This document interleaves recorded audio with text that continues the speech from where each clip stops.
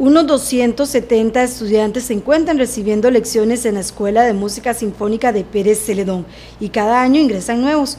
Por esa razón, uno de los objetivos de la institución es que quienes deseen crecer más y profesionalizarse lo logren.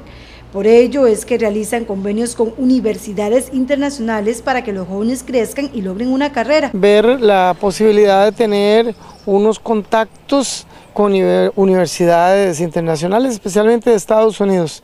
El año pasado tuvimos algún contacto con gente de Europa y este, em, ahorita tenemos contacto con el Snow College, que ya tenemos dos estudiantes em, que están allá. Hay uno eh, que ya nos em, me enviaron una nota indicando que había sido aceptado para estudiar también el Snow College, otro estudiante nuestro. Estados Unidos y España son dos de los países en donde llegan estudiantes de esta escuela de música. También en otras eh, universidades, que ahorita no les voy a poder decir el nombre, pero también tenemos contactos porque... Nosotros ya tenemos que no solamente impactar a nivel nacional, sino también a nivel internacional, por las oportunidades de los muchachos. Hay uno que se nos va para España, por ejemplo, eh, otros que ya están en México, eh, ya trabajando en orquestas.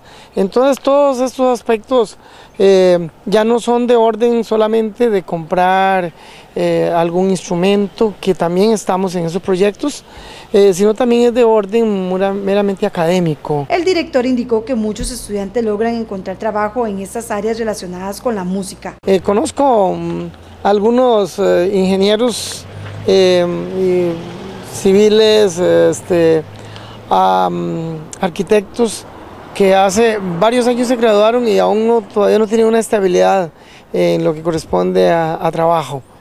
la mayor parte de los profesionales que se gradúan en música encuentran algún trabajo, algunas veces a nivel nacional y otras veces a nivel internacional, que ya lo hemos experimentado. De ahí que en la Escuela de Música Sinfónica consideran fundamental que los estudiantes participen en seminarios con profesores internacionales y en intercambios. Porque en este país sí se necesita mucho profesional, de muy alta formación en el campo de la música.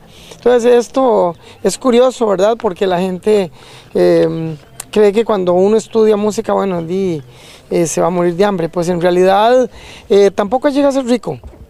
Algunos sí, ¿verdad?